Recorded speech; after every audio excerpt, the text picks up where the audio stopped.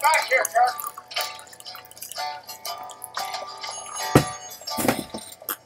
What on earth is wrong with you besides the obvious I have to lack of pee. fashion sense? What did you I told you to get back together